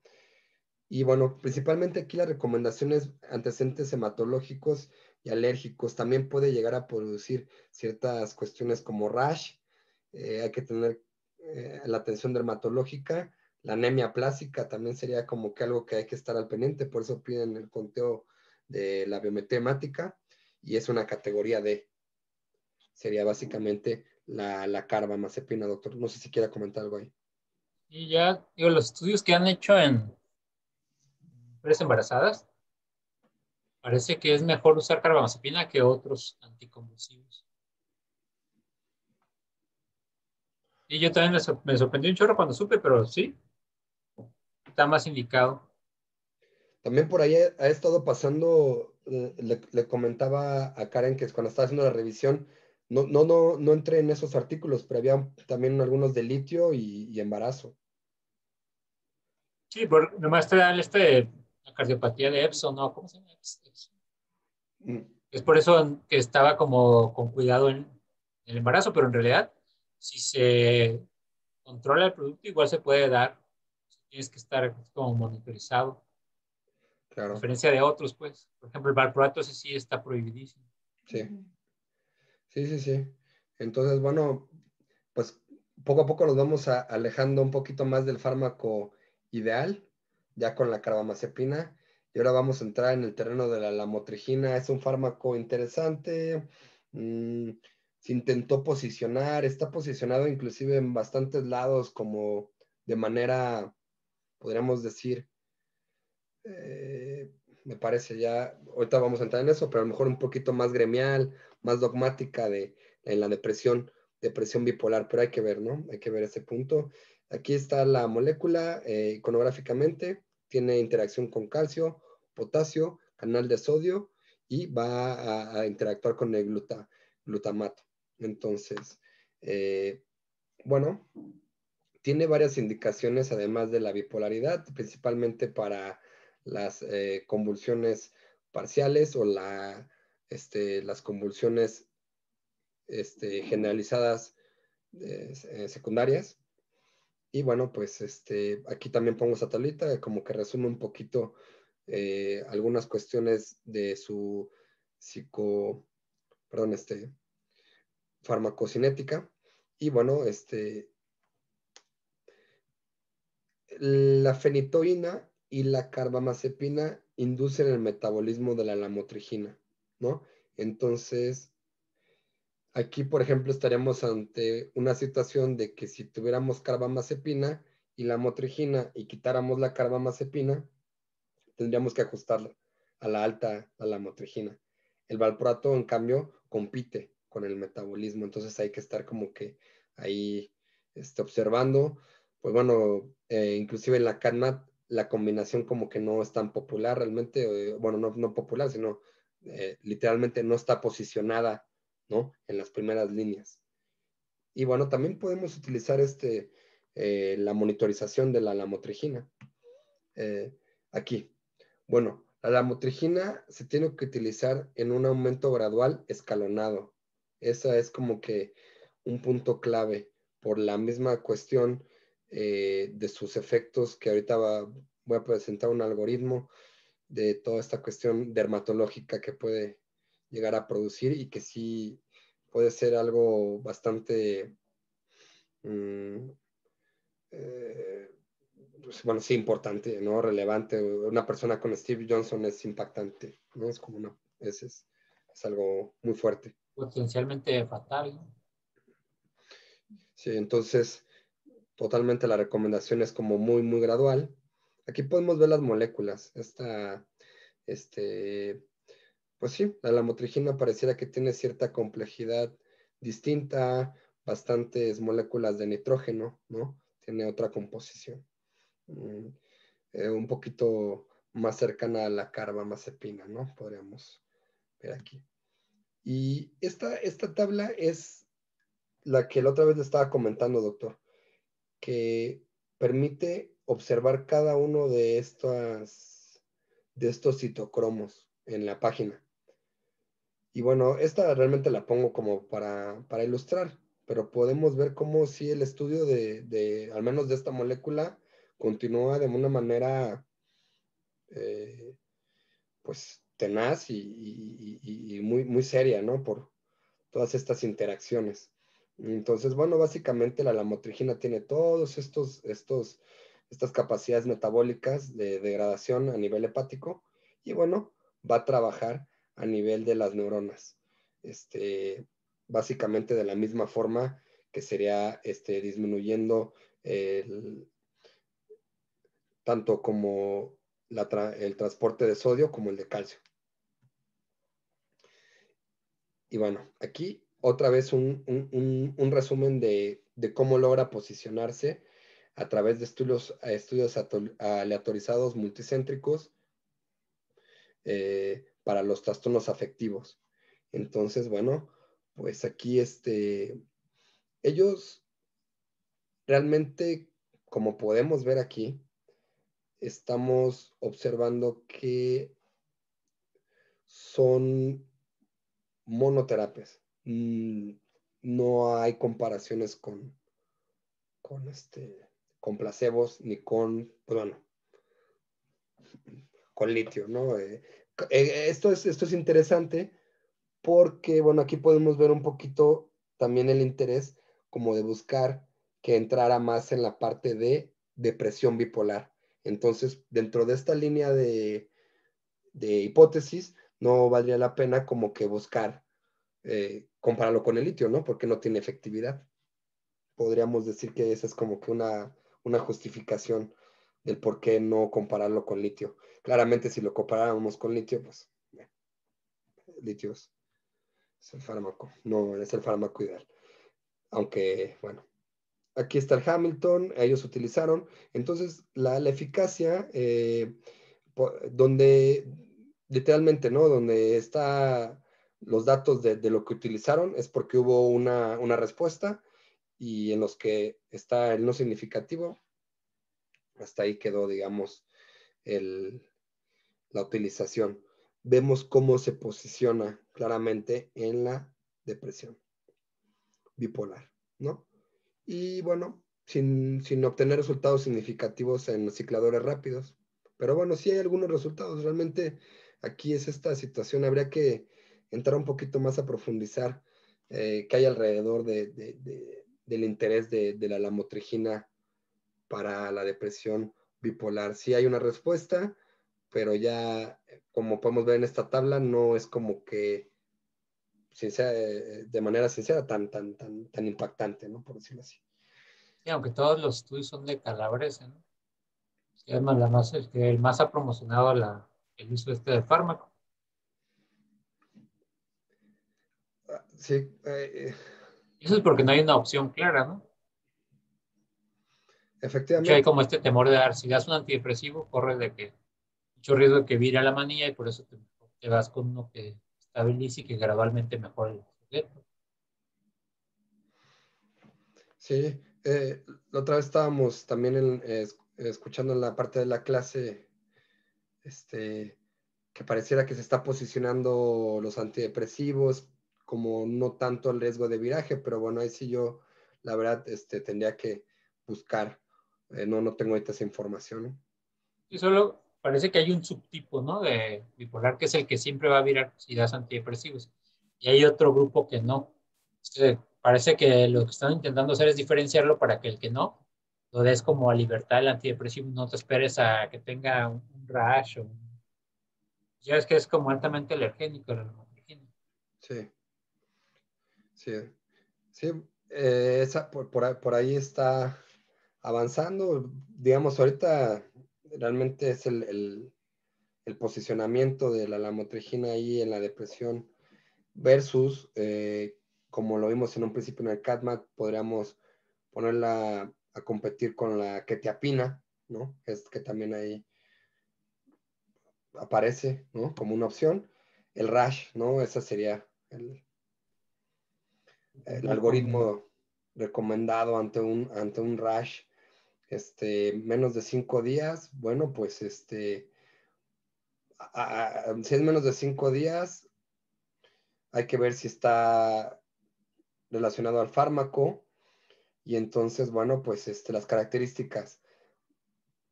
Este rash debe, aquí disculpen, se ve un poquito borroso, pero bueno, si el rash está dentro de algunos días entre 10 y 14, ¿no?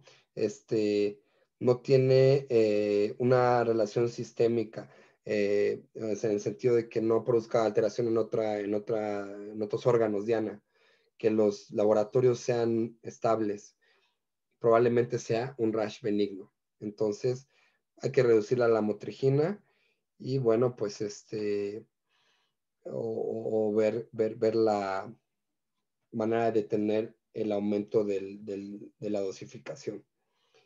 Y bueno, pues este, aquí hay que considerar mejor este, otras opciones, ¿no? Básicamente es lo que diría esta, esta parte del algoritmo, pensando que estamos ante algo benigno. Y bueno, pues este, modificarlo lentamente. Aquí, si tenemos más de cinco días con el rash del lado derecho, y eh, aquí las características que mencionan del rash, principalmente es como un rash doloroso, purpúrico, ¿no? Que inclusive se empieza a generalizar, este, bueno, ¿de qué estaríamos hablando? Bueno, ya con alteraciones de laboratorio, eh, este, eh, aumento en, las, en el perfil hepático, en las enzimas, y eh, inclusive estas cuestiones de el aumento de las enzimas catabólicas como CPK y todo esto, estamos ante un Steven Johnson, ¿no? Probablemente, o en el espectro de llegar a eso, inmediatamente, ¿no? Suspender. O sea, ¿qué podríamos decir? Realmente el riesgo se considera no tan alto, no, yo no tengo en este momento una cifra tan precisa. Había revisado cifras anteriores que era relativamente bajo, eh, menos de 5, este, 3% por ahí, pero realmente no tengo una cifra más actual. Entonces, probablemente eso tenga que ver con que no ha tenido tanto ya uso, también podría estar por ahí esta cuestión. Entonces, recomendaciones generales de 100 a 200 miligramos al día. Y entonces, bueno, este, aquí si tenemos la carbamazepina, este, hay que aumentar la lamotrigina. Y si tenemos el valproato, como lo mencionábamos hace un momento, que compite, este, hay que disminuir la carbamazepina. Entonces, básicamente, no, no, no, corrección. El valproato disminuye la concentración de la carbamazepina. Corrección. Y la corrección, ahí va. Carbamazepina aumenta la concentración de la lamotrigina, el valproato, disminuye la concentración de la lamotrigina. Eso sería aquí lo, lo que quise decir. La vida media es de 33 horas, la suspensión es gradual y, se recomienda mínimo en dos semanas irlo bajando. Aumento de peso leve, sedación leve y de igual forma, si tiene el paciente antecedentes hematológicos, alérgicos y también tenemos que ver ajustar con falla renal, porque pareciera que hay como una, si tenemos un paciente con falla renal, esto se relaciona con la probabilidad de que presente el, el rash o la deshidratación también, y es categoría C. Esa sería como que básicamente la, la lamotrigina, doctor. Ok. Y bueno, esta sería el, último estabilizador que, traigo. El topiramato, doctor. ¿Continuó? Ok. Bueno, el topiramato sería este, el medicamento del topiramato tiene diferentes interacciones como agonista y antagonista. Principalmente nos interesa su interacción antagonista con el sodio, que es lo que hemos estado viendo en todos los estabilizadores del ánimo. También tiene algunas características de inducción e inhibición citocrómica. Y bueno, eh, también tiene la cuestión como del antagonismo de calcio a nivel este, central. Entonces, el topiramato tiene estas tres características que lo haría similar a la iconografía de, los otros estabilizadores que hemos observado. antagonismo de sodio, antagonismo de calcio y bueno, va a tener un agonismo con GABA. Aquí podemos ver cómo el, topiramato va a tener como este efecto con el receptor de kainato. Este sería como que uno de sus, de sus dianas a nivel de receptor. Entonces, bueno, el topiramato va a bloquear y esto va a disminuir el, el intercambio iónico tanto como de calcio como de sodio. Esta tabla, pues bueno, nos permite observar también otros, otras interacciones. Por ejemplo, la carbamazepina, acá arriba a nivel de presinéptico, el valproato a nivel presinéptico, la lamotrigina también. Y bueno, esta sería básicamente como una imagen que puede resumir cómo los anticomiciales producen sus efectos de disminución de neurotransmisores excitatorios. Inclusive por aquí sale la pregabalina y la gabapentina, que también se han querido posicionar, pero bueno, claramente no son tan, tan potentes como los fármacos revisados, ni, tampoco tienen tanta evidencia.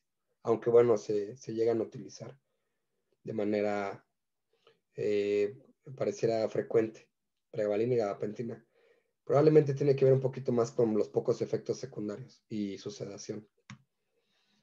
Bueno, entonces, el topiramato es un fármaco que ha tenido un posicionamiento reciente. Inclusive hay una revisión de Cochrane.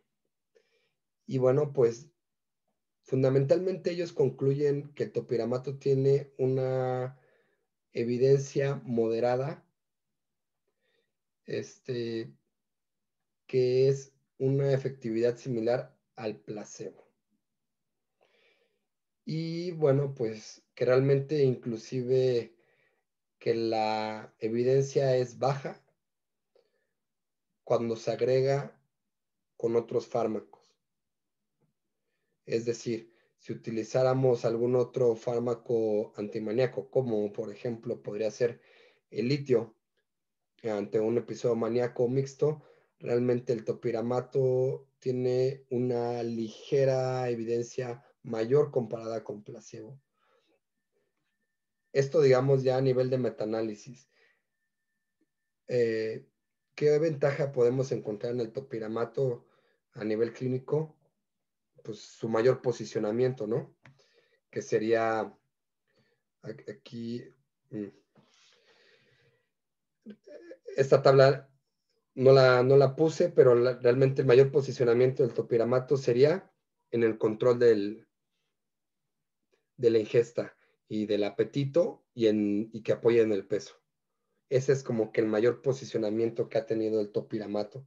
Entonces, más allá de tal vez buscar como que efectos eh, a nivel de estabilizador del ánimo, se ha podido posicionar de manera importantísima con la combinación de fentermina y el topiramato para el control de peso. Ese ha sido como que viene en bastantes tablas de esta revisión de Cochrane. Las, las separé por esta cuestión de que quería concentrarme en su efecto estabilizador, pero bueno, ese sería como que el resumen del topiramato. Es un fármaco relativamente bueno, podríamos decir, para estabilizar no es el de primera línea. Sus ventajas son la cuestión del peso. Y bueno, las dosis este, son de 50 a 300 miligramos. Su vida media es de 21 horas. También el, inicio es gradual por sus efectos secundarios, eh, principalmente las parestesias, la, la. Y bueno, aquí también no tengo eh, aquí puntualizado esta parte, pero ha tomado también un lugar interesante conforme a la prevención de la migraña, ¿no? La combinación migraña-epilepsia, eh, migraña bipolar, eh, estas situaciones por ahí, o también consumo de alcohol de manera perjudicial. También hay una relación con la bipolaridad por ahí. Entonces, todavía es un fármaco que me parece, desde mi punto de vista, nos puede dar bastante, eh, bastantes alternativas. Realmente es un fármaco que sí mm, se utiliza bien para esta cuestión de control de peso y la gente eh, a nivel clínico eh, pareciera que realmente es un fármaco de posología sencilla y este, el efecto disminución de peso es, es ideal, ¿no? Realmente eso es lo que buscan muchas personas. Ese, ese sería como que el punto clave de, de este fármaco. Este, Se ha aprobado también para alcohol, ¿no? Para alcohol en el uso de topiramato. Más que sabes que la posología no es tan fácil, hay que irlo ajustando lentamente también. Los efectos cognitivos, ¿no? Que da como estas alteraciones de la memoria inmediata. Sí. aquí, yo, ya, hablando un poquito de la parte como clínica y, dentro de esta situación fentermina topiramato, bien se, bien, bien los eh, se, ha escuchado de los pacientes, ¿no? Realmente por el peso pueden llegar a hacer varias cosas y no, no, suelen quejarse tanto, a lo mejor tal vez de, estos fármacos. Totalmente de acuerdo. Eh, la mayoría de anticomiciales ya en todo su, en su conjunto tienen esta cuestión de la sedación y cierta afección a nivel cognitivo a largo plazo. Y ahí es donde litio y valproato como que se separan, ¿no? Por esta parte neuroprotectora. Entonces, sí, el topiramato cae ahí, totalmente con la parte del alcohol. Este, tampoco se recomienda en falla renal. Tiene una cuestión ahí de litogénesis o que puede llegar a influenciar en la parte de los litos renales y también es categoría D. Entonces, bueno, esto sería eh, el topiramato. Y esta, esta tabla la traigo por unas combinaciones muy interesantes que están, bueno, eh, aquí están los combos para el estal que serían este, los más de evidencia, el atípico litio, ¿no? Este, el atípico valproato, Aquí hay unos combos que mencionas tal como los de práctica. Este, litio valproato. Claramente la motrigina valproato, aquí muy puntual, hay que tener cuidado. La motrigina litio valproato, cuidado. Y bueno, hay estas combinaciones, la que te apina por aquí también. Y hay unos que me llamaron mucho la atención, este, los, los combos geográficos. Entonces tenemos el primero que sería el Boston Bipolar Brew, que sería un combo de Boston de antidepresivo con, con este, eh, perdón, cualquier combo, perdón, cualquier combo, pero no utilizar antidepresivos, sería el combo de Boston. Y bueno, el, el, el combo californiano, el cóctel californiano, que sería cualquier combinación, pero con antidepresivo. Entonces, bueno, sí existen, ¿eh? eh eso es interesante porque platicamos el otro día de estos combos que, que, suelen producirse en algunos lugares. Bueno, pues parece ser que algunos de ellos fueron inventados en California o en Boston. Y por último, el combo Tennessee. Este, Tennessee eh, Mood Shine, Entonces sería un atípico con un antidepresivo, que sería, bueno, básicamente eh, un, eh, estamos hablando del Symbiax, ¿no? O podríamos hablar de diferentes combinaciones más allá del Symbiax. Entonces, estos me llamaron mucho la atención, los geográficos. Y bueno, pues aquí está, me parece muy, muy correcto. Cuidado con este con el cóctel California. Y bueno, ya para concluir y cerrar la, presentación, este, esta es la GPC de, del 2009 para trastorno bipolar. No ha tenido otra actualización. De manera interesante, coincide con, con el CANMAT 2018 en que el litio es lo mejor. Este, totalmente, ¿no? Y al final de la, de la guía vienen las dosis y viene como un resumen bastante práctico y útil de cómo este, conocer los efectos secundarios y las dosificaciones dentro del cuadro básico. Y, ah, bueno, este, por último, tenemos esta tabla del Madosley. Entonces, ¿qué otros tratamientos podrían ser útiles para la depresión bipolar? Porque bueno, como bien desde un principio vimos en el cuadrito, hay como todavía un espacio ahí medio este, indeterminado de qué sería lo mejor para esta situación. Entonces, bueno, pues está el aripiprazol, la gabapentina, este, el inositol, la ketamina por ahí, ¿no? Con algún par de bibliografías. Este, de manera interesante, el comentario en el examen del consejo venían como 20 preguntas de la ketamina o más. ¿Para qué? Esto es, eh, sí, efectivamente. Bueno, para cuando llegue mi fepristona, el modafinil. Ya está aprobada, ¿eh? Ya se aprobó en Cofepris a principios de año. Se aprobó para Cofepris, pero la desketamina para depresión y ideas suicidas, ¿no? Sí. No para bipolar. Ah, eh, sí.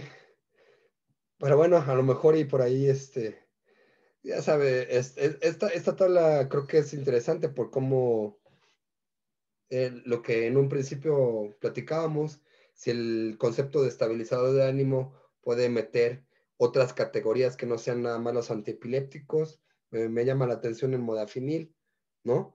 Podríamos tener esta persona que no vamos a poder utilizar tal vez metilfenidato o un psicoestimulante, pero el modafinil teóricamente no debería tener problema, ¿no? Como se ha posicionado también pareciera eh, un poco en la esquizofrenia de carácter negativo, residual o simple. También podría por aquí entrar los ácidos grasos omega 3, esa cuestión de la dieta y la psiquiatría nutricional me parece interesante, aunque también no, no está tan posicionada, digamos, todavía está en un nivel de menos apertura eh, como de utilización en comparación de las intervenciones psicosociales, ¿no? Todavía tienen más impacto, pero pareciera que por ahí hay alguna alternativa. Este, el riluzol, realmente eh, ahí dice que solamente un estudio aleatorizado controlado.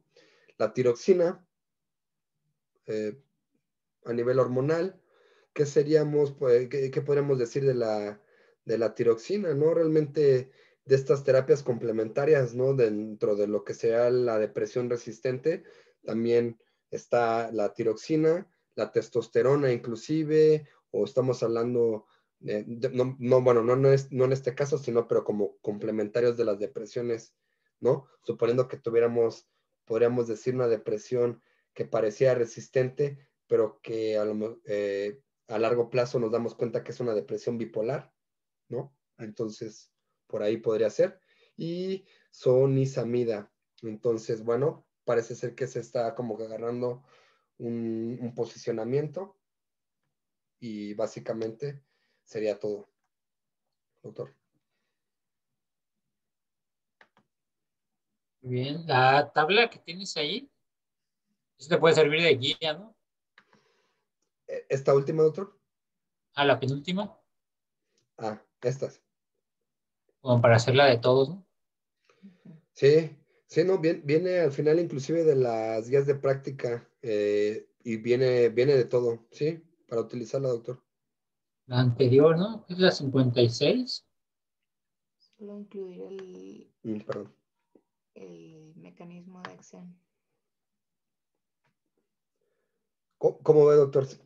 agregarle también el mecanismo de acción y sí. en vez de la clave. Ajá. Sería como más útil, ¿no? Sí. Sí, no, sí está. Eh, la, guía, parece, la, la, GPC del 2009 de bipolaridad, eh, podríamos decir que está vigente. O sea, realmente si la compara uno con el CanMat, sí, sí tienen las mismas recomendaciones y, y, bueno, tiene este resumen muy útil. O sea, realmente es una, yo puedo decir que es una una, buena este, guía. Sí, suena bien. Muy bien.